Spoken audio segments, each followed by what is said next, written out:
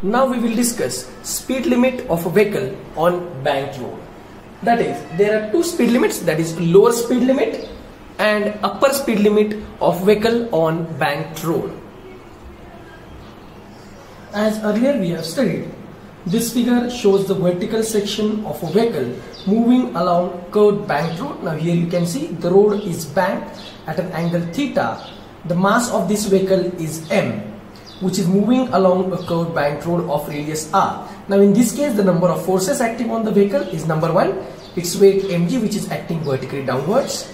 Normal reaction between the road and the vehicle which is perpendicular to the banked road and this normal reaction n we can resolve it into two components vertical component n cos theta and horizontal component n sin theta and the most safety speed of the vehicle on this banked road as we derive the equation for this that is Vs that is the most safety speed of this vehicle on this curved bank road is Vs is equal to root Rg tan theta.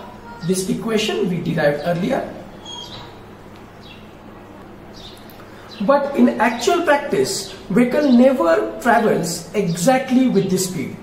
And the other component of force of static friction need to be considered in this case and this force of static friction which will exist between the road and the tire surface for lower speed limit for lower speed limit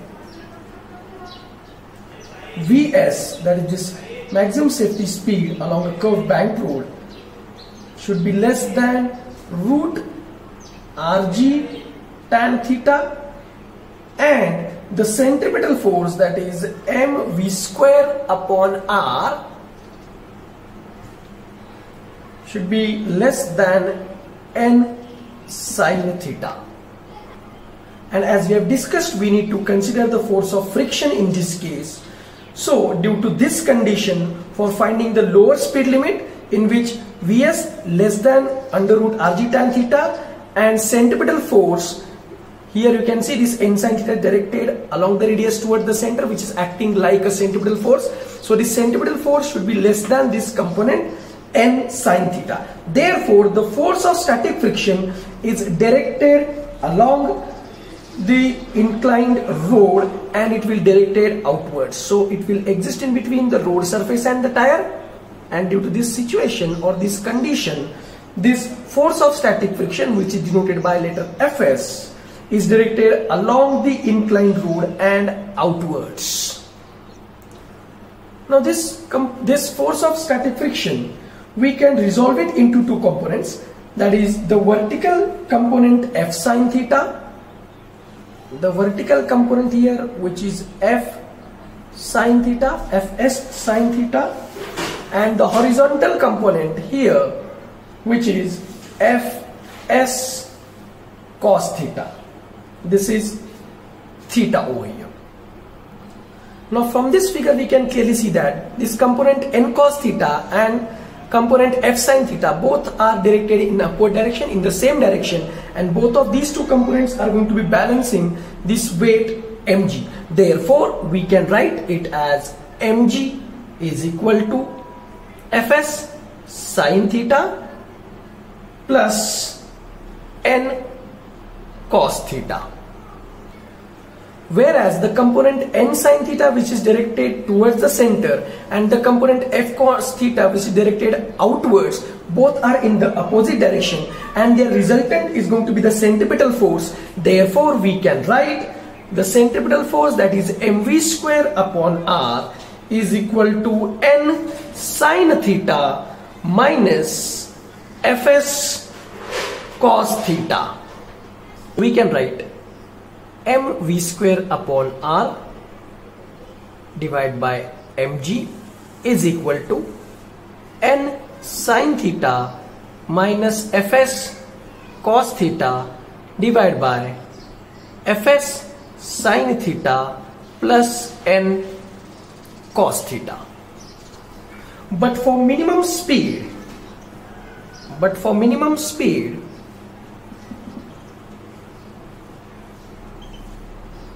Fs is going to be maximum and is going to be equal to mu s into n.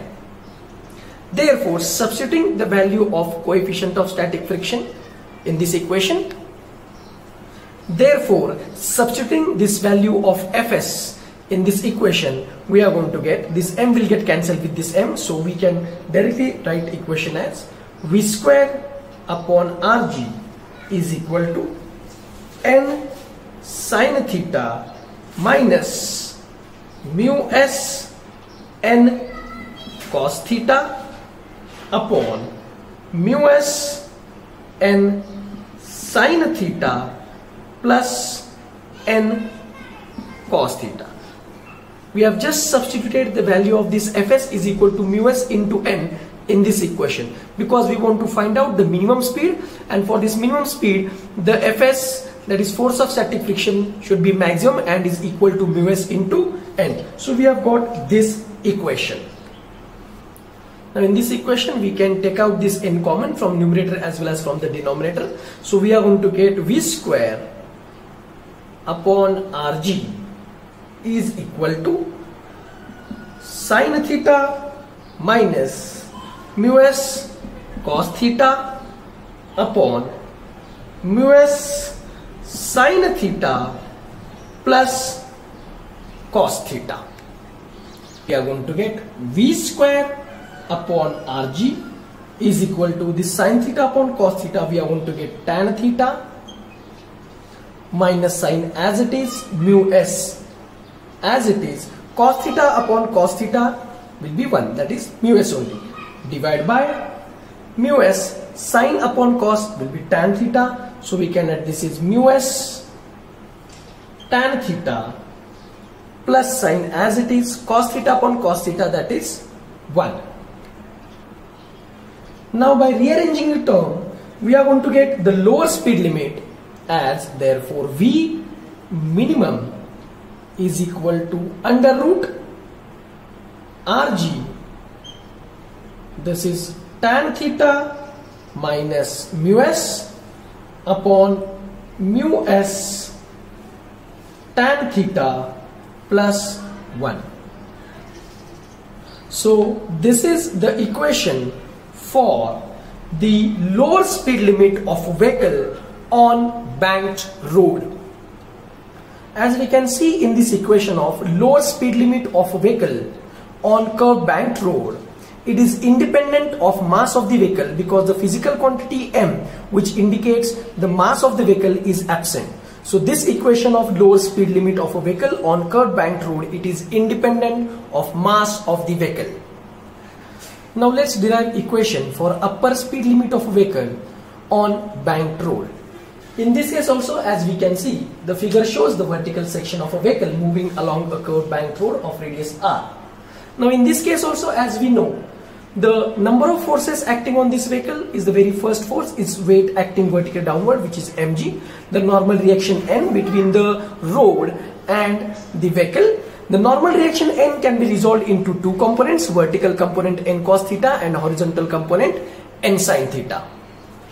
For this upper speed limit the most safety speed vs it should be greater than root rg tan theta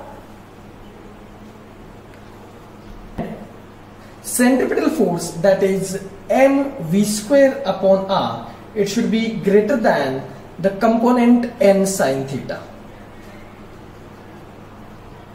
Therefore the force of static friction which will exist between the road and the tire is directed along the inclined road and inwards. So this force of static friction it will exist over here which is directed along the inclined road and inwards. So we can denote it by Fs. Now this force of static friction can be resolved into two components that is the horizontal component and vertical component. So the horizontal component it becomes Fs cos theta whereas the vertical component which is acting vertically downward is Fs sine theta where this is angle theta. Now from this figure it is very much clear that the component n cos theta and the component f sin theta they are opposite to each other and they gives us the resultant that is mg. So we can write this equation as mg is equal to n cos theta minus fs sine theta n cos theta in upward direction fs sine theta in downward direction and resultant of this is given by the mg. Similarly, if we look at this component n sin theta and f cos theta, both are directed in the same direction and towards the center of the curved rod which is acting like a centripetal force. So we can write therefore the centripetal force that is mv square upon r is equal to n sin theta plus fs cos theta. n sine theta plus fs cos theta both of these directed towards the center of the curved rod so the resultant of these two is nothing but the centripetal force. Now therefore we are going to get mv square upon r divided by mg is equal to n sine theta plus fs cos theta upon n cos theta minus fs sin theta. The maximum speed, the value of fs is maximum and is equal to mu s into n. So we are going to substitute the value of fs in this above equation. This m will get cancelled with this m and therefore we are going to get v square upon rg is equal to n sine theta plus mu s into n cos theta upon n cos theta minus mu s into n sine theta. Now from numerator and denominator we can take out n common. Therefore we are going to get v square upon rg is equal to sine theta plus mu s cos theta upon cos theta minus mu s sine theta. Square upon rg is equal to sine theta upon cos theta. We are going to get this is tan theta plus sine as it is mu s cos theta upon cos theta is 1 therefore only mu s whole divided by cos theta upon cos theta that is 1 minus mu s sin theta upon cos theta that is tan theta. Now by rearranging the term we are going to get the upper speed limit of a vehicle on banked road that is V max is equal to under root RG into bracket tan theta plus mu s upon 1 minus mu s tan theta. So this is the equation for the upper speed limit of a vehicle on curved banked road and as you can see this equation is also independent of mass of the vehicle. These are the two equations which we just derived for the speed limit of a vehicle on banked road. This is for the lower speed limit which is V minimum and this is for upper speed limit that is V maximum of a vehicle on banked road. If we do not consider the force of friction that is we need to put mu s is equal to 0.